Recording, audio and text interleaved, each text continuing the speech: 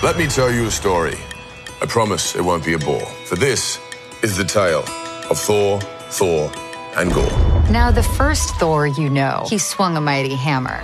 But now you might wonder is this something the matter? Hammer, matter, Slant, rhyme. just go with it. For while his friends, the Guardians, tend to tussle and fight, Thor is content to sit out and search for inner light. Then there's Thor number two. We call her the Mighty. Jane Foster wields Mjolnir. Albeit not entirely rightly.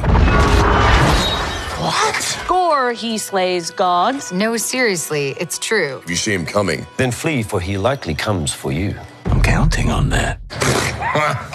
What does he plan? What does Gorr plot to plunder? Well, you'll have to stay tuned. for Thor, Love and Thunder.